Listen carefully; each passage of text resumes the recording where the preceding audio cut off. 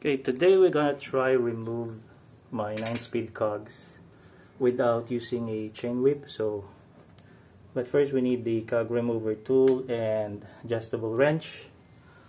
Also an old chain. This is I think 8-speed chain, and then you need another Allen key to lock the chain in place against a window or anything that has a strong brace. So I don't have uh, a huge gate so I'm just using my old window.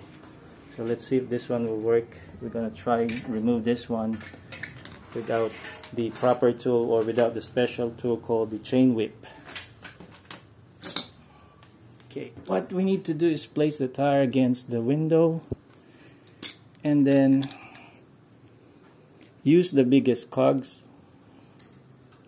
align the chain and then make sure it is properly secured. And use the uh, what you call this cog remover. And finally the adjustable wrench. And apply some elbow grease. Is that am I right? Elbow grease? So let's see if this one will work. I normally do this slowly. And you might hear some cracking noise and then do it one more time. Oh go I think it's kind of loose now. Not yet. Okay I think it's out. There you go.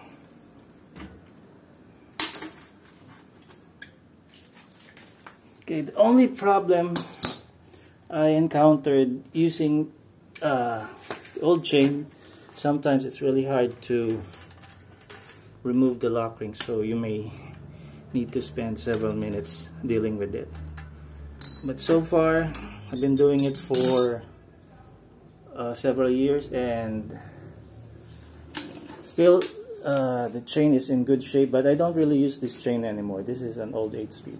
So if you want to give it a shot then it's up to you. So here's how it goes with the lock. This is just an Allen key Allen wrench and then there you go so, adios. See you next time.